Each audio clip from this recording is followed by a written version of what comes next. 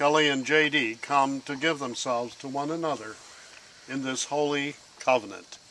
It is a day of rejoicing. It is a day of celebration. And now I ask you these questions.